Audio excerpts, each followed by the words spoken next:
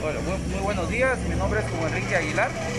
Yo soy familiar de una persona que padece este problema de los riñones y tiene que llevar el servicio de lo que es hemodiálisis.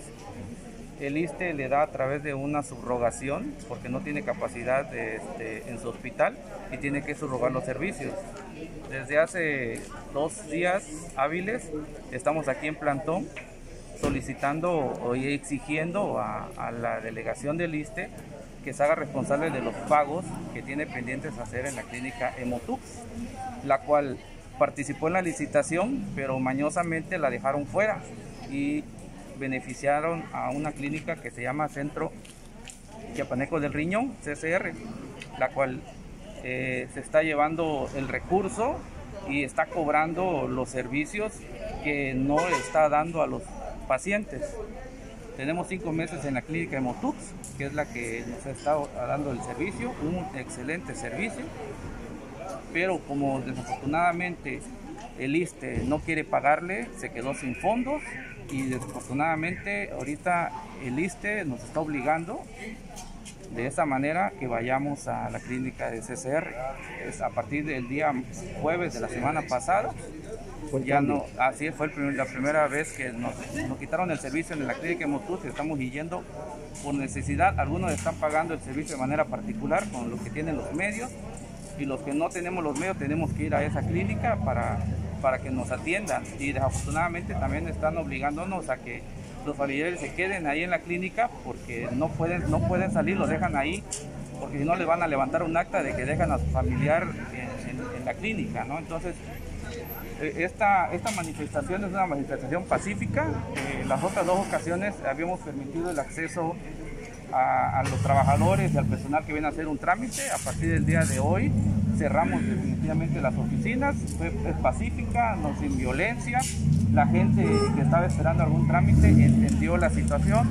Los compañeros que trabajan aquí dentro de la delegación igual entendieron la situación y nos dejaron manifestarnos de manera pacífica. Oye, ¿a cuánto ascienden los pagos que ustedes realizan, realizaban actualmente en el anterior este, eh, hospital y ahorita actualmente a cuánto asciende un pago para que estén ahí atendiendo? Ah, bueno, el servicio de una persona de manera particular para su servicio de hemodiálisis está alrededor de los 1.200 a los 1.500 pesos, dependiendo de la clínica donde uno quiera irse al servicio. Eso es por día. El pago por día. Normalmente los pacientes usan de dos a tres veces a la semana el servicio de hemodiálisis.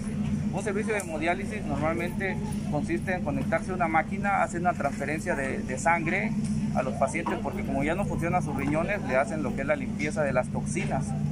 Esto requiere lo que son este, insumos de los cuales tienen que ser de buena calidad y aparte no deben de ser reutilizables. La clínica CSR, que es la que nos está violentando nuestra salud, ellos reutilizan los filtros. ¿Qué quiere decir? Que la calidad del servicio que tiene cada, cada paciente se va degradando poco a poco. Tal vez el problema no se va a ver en dos, tres sesiones, sino se va a ver en el transcurso de un mes, de dos meses, cuando ya la calidad de vida de cada paciente empieza a degradarse. A diferencia de la clínica de Motux, que es la que nos está dando un buen servicio, los, los filtros son nuevos y se ve en la calidad de muchos compañeros que ven aquí, el compañero don Francisco. por favor. vamos a entrevistar. Sí. Es una persona también que se ve bien. La gente pensaría que no estuviera con problema de los riñones, pero en sí tiene una fístula. Ahí tengo otro compañero, Juanito, don Juan, también que tenemos otro problema. Este, y tenemos este, muy buena atención por parte de la clínica de Motú.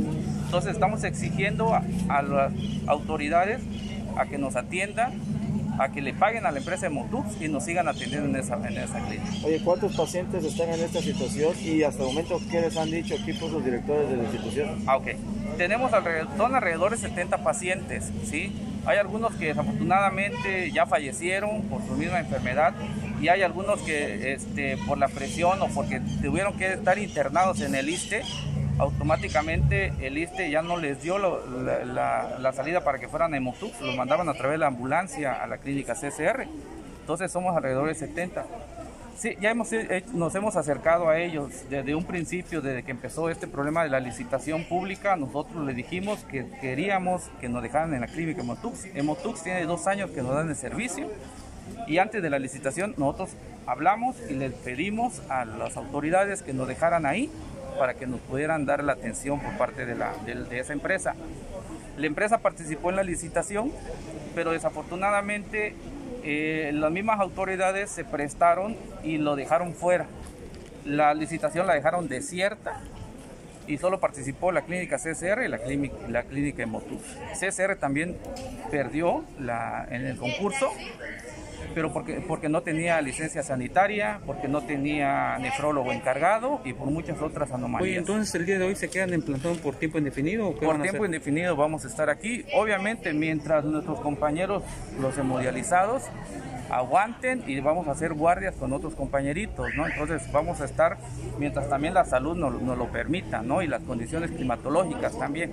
Hasta el momento entonces no ha habido respuesta de... No, le comentaba, hemos reunido con ellos y nos han dicho que, que no, que ya la licitación la, licitación la, la, la fue amañada, le dieron la, el fallo a esa empresa de manera eh, a través de una reunión ahí secreta, sin ninguna, sin testigos, sin nada, y automáticamente a, los pocos días que se, declaró desierta, salió ganadora esa, esa empresa. Esa empresa ahorita está clausurada.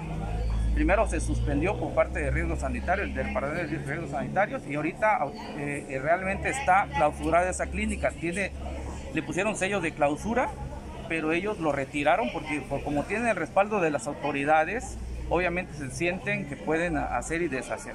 Y así los están atendiendo. Así es, sí, sí. las autoridades nos dicen que no, que ya es definitivo y que tenemos que ir allá y que tenemos que ir allá. Ellos dicen Tuvimos un acercamiento hace aproximadamente dos meses donde le dijimos la problemática, que nadie quiere ir allá porque sabemos que es la calidad de nuestra vida de los eh, mundializados se va deteriorando por el tipo de servicio que dan en aquella clínica, la clínica de CSR.